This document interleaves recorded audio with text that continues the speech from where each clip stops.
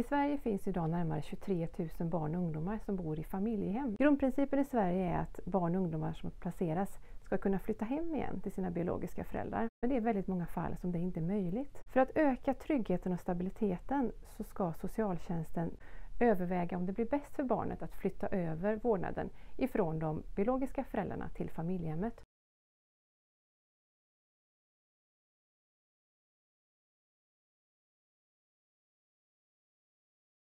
I den här studien så har vi intervjuat ungdomar som har varit placerade i familjehem och där vårdnaden om dem har flyttats över ifrån de biologiska föräldrarna till familjehemsföräldrarna.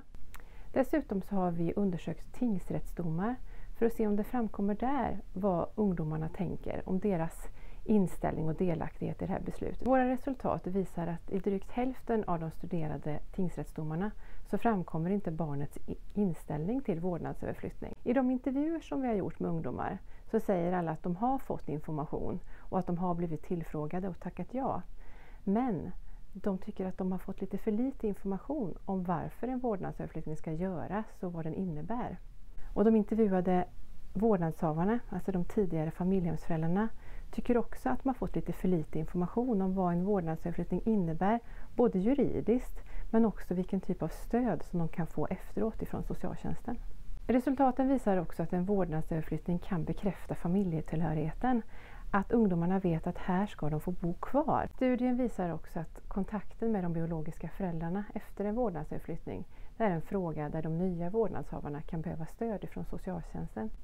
Vår förhoppning är att både socialtjänsten och tingsrätter blir bättre på att involvera barnen i frågor som handlar om vårdnadsöverflyttning. Det handlar om att ge information, att lyssna på barnen och att inte ge information bara vid ett tillfälle utan att det här är en process som ibland sker under lång tid. Vår förhoppning är också att socialtjänsten kan bli bättre på att utveckla samarbetet mellan de biologiska föräldrarna och familjehemsföräldrarna. Och det gäller både under placeringen men också efter en vårdnadsöverflyttning har genomförts.